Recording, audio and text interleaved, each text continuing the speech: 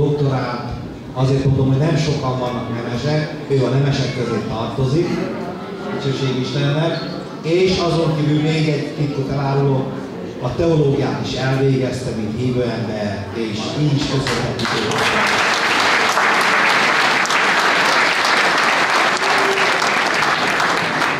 Gondolom, hogy a szavaim